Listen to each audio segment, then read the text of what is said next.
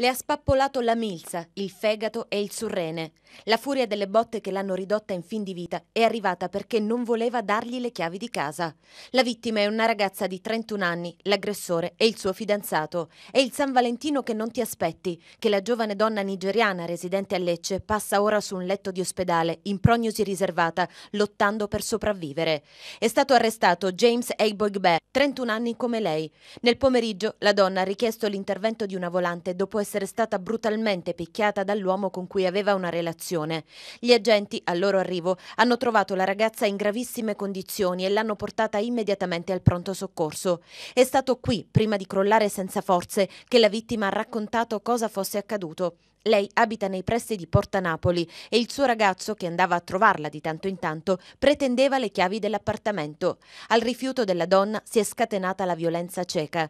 Mentre i medici si prendevano cura di lei e i poliziotti si accingevano ad andar via dal pronto soccorso per andare alla ricerca del ragazzo, hanno notato proprio in prossimità dell'ospedale un uomo di colore. Sospettando che potesse trattarsi del ricercato che probabilmente per sincerarsi delle condizioni di salute della donna stava andando in ospedale, lo hanno fermato. Era proprio lui e in tasca aveva le chiavi dell'appartamento, quelle che tanto voleva. Anche i vicini di casa che hanno sentito le urla della ragazza hanno confermato la circostanza di aver visto allontanarsi un ragazzo dalla casa della vittima e Boigbe è stato arrestato e rinchiuso in carcere.